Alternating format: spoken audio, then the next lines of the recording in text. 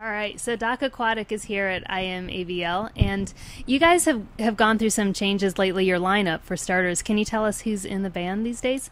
It's myself, JC Hayes, uh, my brother who's not here. He's unfortunately working right now. Zachary Hayes on drums. I play guitar, and uh, I sing. And this is I'm Charles, and I play bass and synth and things.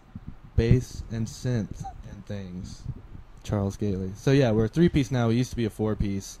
Um, basically, we just uh, we kind of reassessed what we were doing and um, took a break and then made an album as a three piece. hmm And and so that the new album Tombs, which is coming out, Yep. and you said another month or so. Yep.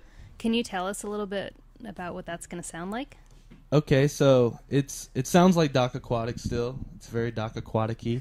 Um, but there's more more stuff. Um, I'd say there's more layers and texture to all the songs. Um, we've gotten more gear lately, like Moog synthesizers that we kind of uh, you know back up the guitar and stuff like that with Moogs and stuff like that.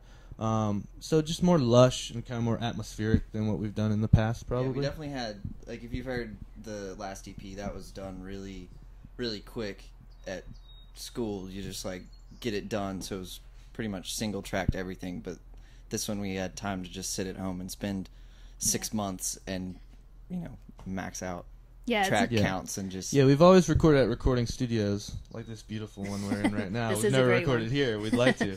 uh, we've always recorded up in Boone, North Carolina, um, at a recording studio there. And you're kind of pressed for time, and uh, we kind of don't work well under time pressure.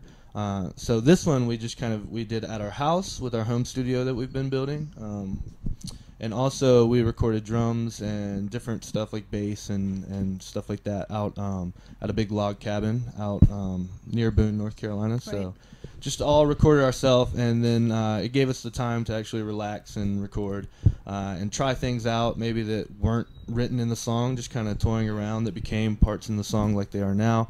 Um, and then we're gonna get it mixed here. It's uh, a few songs have been mixed here at Echo uh, by John Ashley, and he's doing the whole album for us.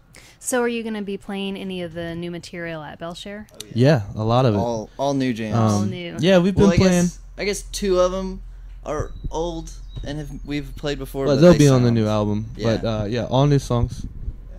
We're Is excited about that. Every everything we'll play will be on the album. Yeah. I guess except for maybe one song. Maybe one song. But yeah, so- newer song. So, there hasn't really been a lot of psychedelic Yeah. rock at Bele Chere. It's I don't know if it's just that that hasn't been what's been chosen, but do you feel like um, that psychedelic is sort of having its day right now, and that's why it's finally made it to this, the last Bele Chere? Um, maybe so. I mean, we played Bele Chere. This will be our third time, so uh, we might be more psychedelic now than we were when we were. started. um, there's been, you know, the progression. Um, but I definitely think people are starting to notice. Uh, maybe um, it's okay to push the boundaries here and there, as far as like maybe get a little noisy. Uh, you know, there's nothing more exciting than getting really noisy on Coxe Avenue and just hearing it reverberate through downtown. That's going to be really fun. Um, but yeah, I think I think psychedelic rock's it's coming back. Maybe. Yeah. Don't know. So you're playing the Coxe Avenue stage Sunday at three. Is, Yeah. is that right? Mhm. Great. And um, before uh, before you all take off, I wanted to ask if you have a, a favorite Bele Chere memory. Maybe maybe just as as being there hanging out, Yeah. or a favorite band you've seen, or Um, or, or playing. Doctor Dog was cool last That year. That was cool. Um, my friend, they have the uh, the hamburgers. They're like two donuts with a Oh, hamburger yes, this is a in great between. story. They This is a sell great those.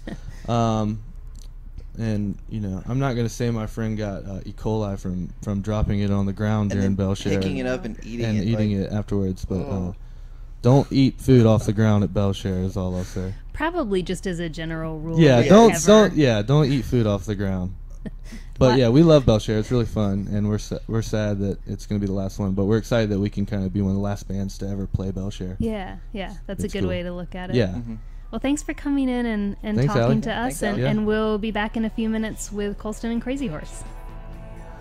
Thanks.